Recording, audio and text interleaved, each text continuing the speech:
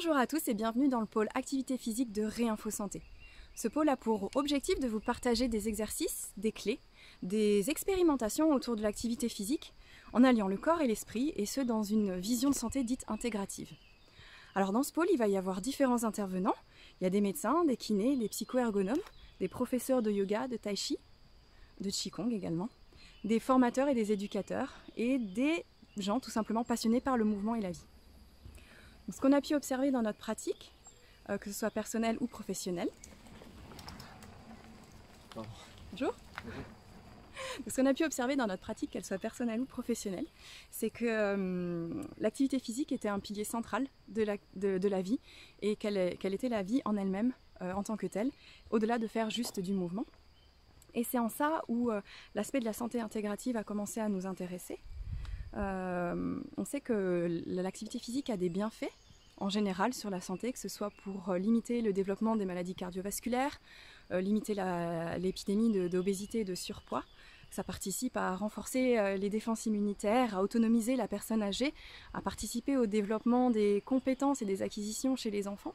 Ça permet d'améliorer la qualité du sommeil et de l'état de santé et de bien-être en général. Mais on sait aussi que l'activité physique peut amener des fragilités et des blessures. Et souvent c'est par méconnaissance euh, de ce qu'est l'activité physique et méconnaissance de l'écoute profonde du corps et de ses ressentis. Et c'est ça qu'on a envie de vous partager via, via le pôle et via euh, cette notion d'activité physique dite intégrative. Parce que la santé intégrative, elle intègre l'activité physique au cœur du vivant, au cœur de l'être humain, dans son identité globale, qu'elle soit individuelle familiale, sociétale, culturelle et environnementale. Et c'est vraiment ce lien corps-esprit, activité physique, activité mentale, qui nous intéresse et qu'on a envie de vous partager. En gros, ce serait expérimenter à aller utiliser vos ressources intérieures via l'activité physique pour vous mener sur le chemin de votre santé, de votre bien-être et peut-être plus.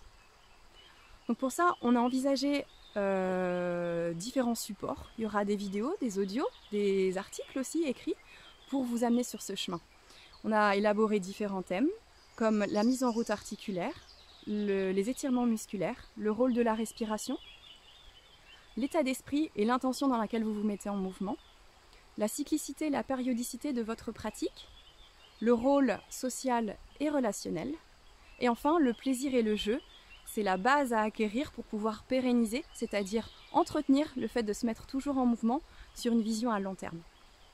Tout ça en alliant corps et esprit. On pourrait résumer par vivre, agir et relationner ensemble.